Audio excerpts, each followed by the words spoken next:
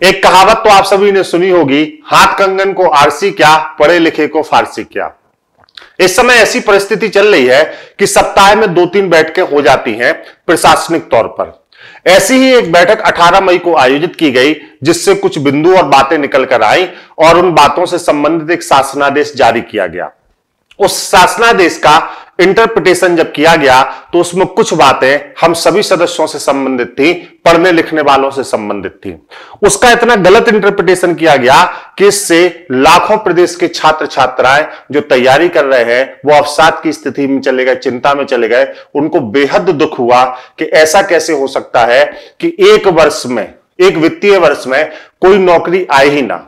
जो लोग over as हो रहे थे, वो भी बहुत चिंता में आ गए। बहुत परेशानी वाली खबर थी। पूरी तरह से इस गलत खबर को गलत तरीके से आपके सामने इंटरप्रिटेट किया गया, प्रस्तुत किया गया, जबकि सच्चाई इससे बिल्कुल अलग है। मैं आपको यह भी बताऊँगा कि क्या सच्चाई है, और मैं आपको यह भी प्रमाण दूँगा इसी वीडियो में कि आपकी वैकेंसी कैसे आएगी, पूरा प्रमाण मेरे पास है है ना? तो सबसे पहले शुरुआत वहाँ से करते हैं कि यह खबर कैसे गलत आपके सामने परोसी गई। वर्तमान जो परिदृश्य आप सभी लोग जानते हैं, ब्रेकिंग न्यूज़ का समय चल रहा है।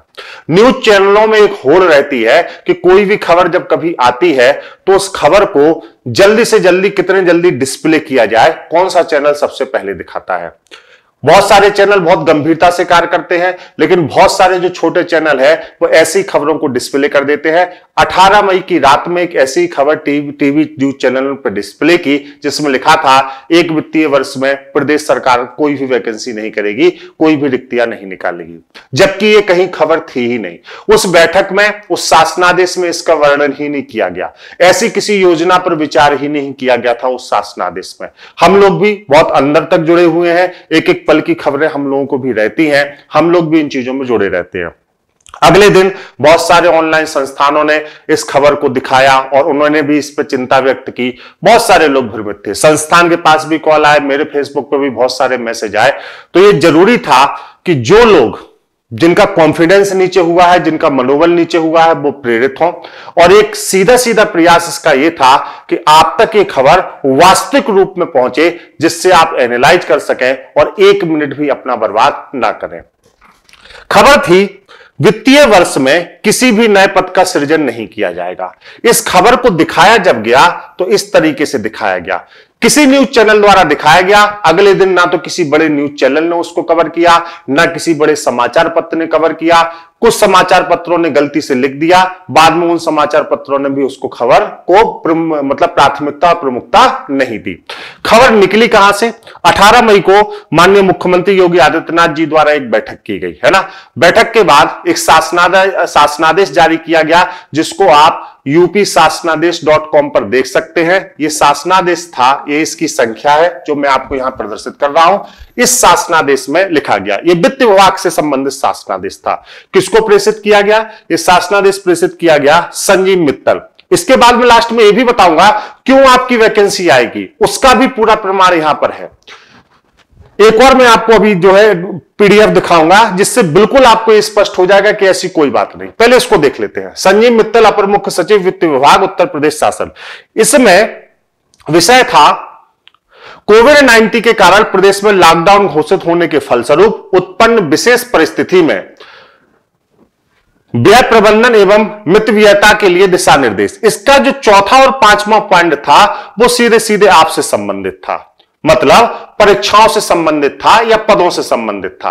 अब देखिए, आप आराम से देखिए, इस चौथे पॉइंट में लिखा क्या था, मैं पढ़ के बताता हूँ। लिखा था, विभागीय कार्य प्रणाली में परिवर्तन, सूचना प्रौद्योगिकी के अनुप्रयोग मतलब पहले जो विभागों में कार्य होता था, उस कार्य प्रणाली में अब परिवर्तन हुआ है। बहुत सारे कार्य ऐसे होते थे जो पहले लोगों के द्वारा किए जाते थे। अब सूचना प्रौद्योगिकी के विकास के कारण वो कार्य कंप्यूटर द्वारा किए जाने लगे, जहाँ पर मैन पावर की ज़रूरत नहीं है, और भी बहुत सारे परिवर्तन आए। इसमें कारणों से अनेक पद वर्तमान परिपेक्ष में अप्रासंगिक हो गए हैं। मतलब बहुत सारे पद ऐसे थे जो पहले रिलीवेंस थे, जिनकी रिलीवेंसी थी अब वो अप्रासंगिक हो गए हैं। क्लियर इन पदों के बारे में चौथे में बात की जा रही थी, ध्यान रखिएगा।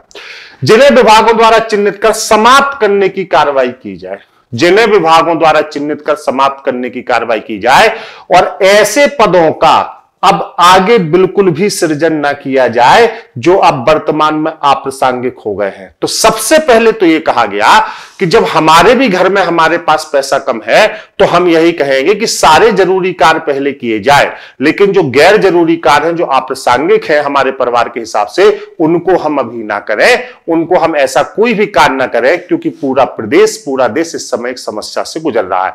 तो बहुत साफ़ शब्दों में इसको लिखा गया कि उनको समाप्त करने की कार्रवाई की जाए, और इन समाप्त किए जाने वाले पदों का सृजन नए वित्तीय वर्ष में ना किया जाए, जिसको आपके सामने पूरी तरह गलत तरीके से इंटरप्रिटेट किया गया और कहा गया कि कोई भी नई भर्ती नहीं आएगी, जो कि बिल्कुल भी भ्रामक और गलत सूचना थी। दूसरी बात समझ लीजिए।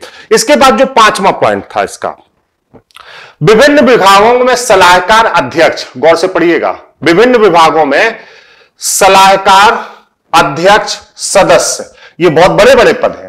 ये पढ़ने में आसान लग रहा है लेकिन बहुत बड़े बड़े पद है। एक व्यक्ति के साथ पाँच पाँच छह छह स्टाफ की नियुक्ति की जाती है। जब किसी अध्यक्ष की नियुक्ति की जाती है तो उसके साथ सात स्टाफों की नियुक्ति और की जाती है। ये अस्थायी प्रकृति के पद हैं ये स्थायी प्रकृति के पद नहीं है। लिखा भी है देखिए। विभिन्न विभागों सलाहकार अध्यक्ष सदस्य आदि अस्थायी प्रकृति के पदों की नियुक्तियाँ की, की जाती हैं।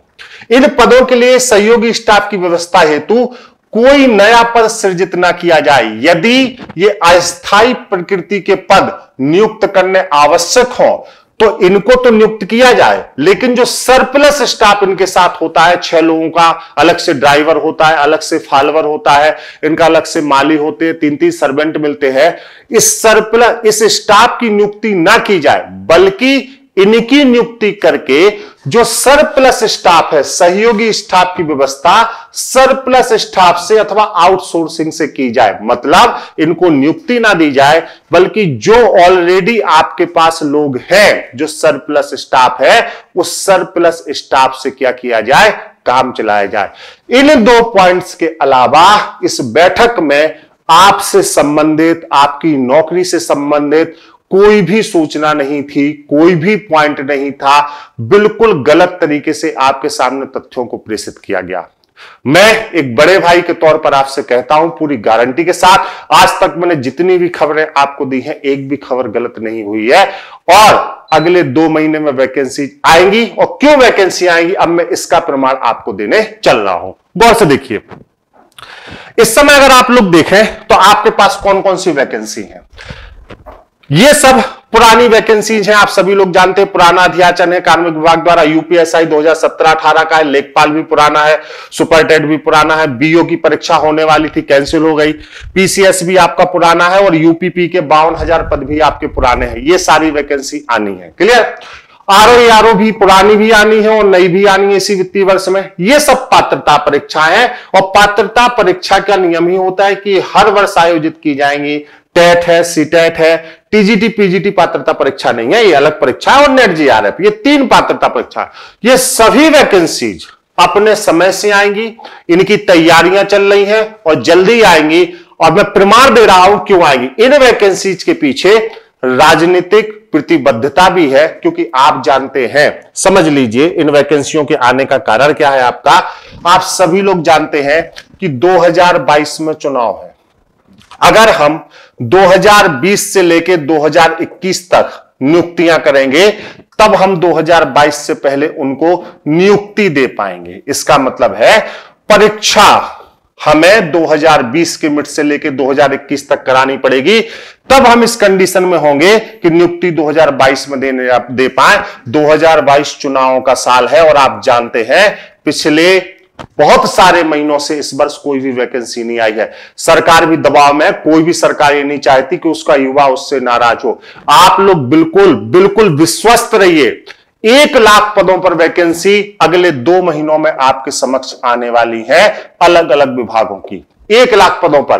और आप जानते हैं, इसी क्रम में उनहत्तर हज़ार में जो लोग शामिल थे जितनी तेज़ी से कार्य उनकी नियुक्ति का चल रहा है, आपने इतना फटाफट कार्य किसी भी नियुक्ति का नहीं देखा होगा। है ना?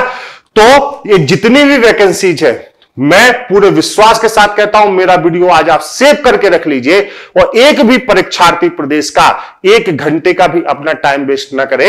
चाहे आप लेखपाल की परीक्षा दे रहे हो, चाहे आप यूपीपीसीएस दे रहे हो, चाहे आप आर दे रहे हो, चाहे आप यूपीएसआई दे रहे हो, सभी वैकेंसीज बहुत जल्दी आपके सामने होंगी, क्योंकि कोई भी कोई भी सरकार अपने युवाओं को नाराज़ नहीं करना चाहेगी। और जो ये भ्रामक खबरें उड़ी हैं, ये टोटल बिल्कुल क्या है, गलत है, जिनकी कोई प्रासंगिकता नहीं है। अब मैं आपको वो प्रमाण देता हूँ जो ये सिद्ध कर देगा कि कैसे वैकेंसी आएगी। वो भी देख लीजिए। ये मैंने आपको बताया पूरा, है ना? ये जो है एक पत्र था।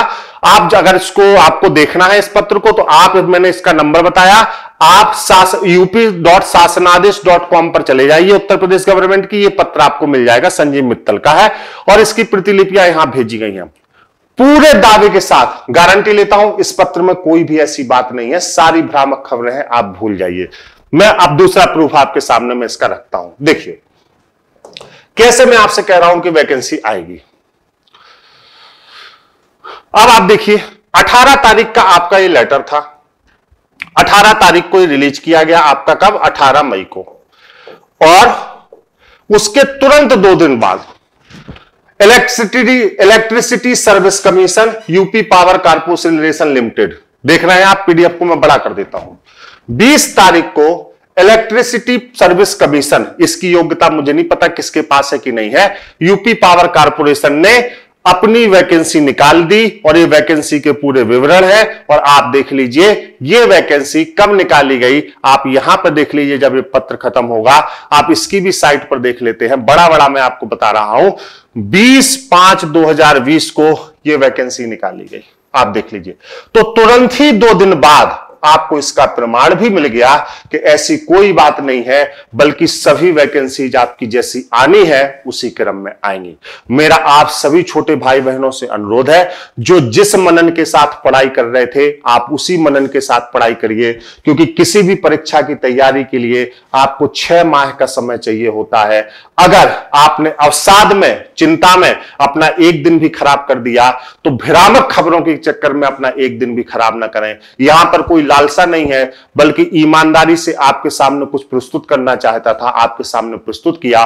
कोई भी ऐसी बात नहीं है। हम लोग अंदर तक लोगों से जुड़े हुए हैं, रोज अपने स्तर पर बात कर रहे हैं वैकेंसीज ड्राफ्ट हो रही हैं। अध्याचन स्वीकार किए जा रहे हैं। जल्द ही सरकार जैसी इन चीज़ों से निपटेगी। सभी वैकेंसी जाने वाली हैं। किसी की भी बात पर आप कोई भी ऐसा विचार न दें। ऐसी कोई बात होनी ही नहीं थी। ये खबर ही बहुत गलत तरीके से फैलाई और उड़ाई गई।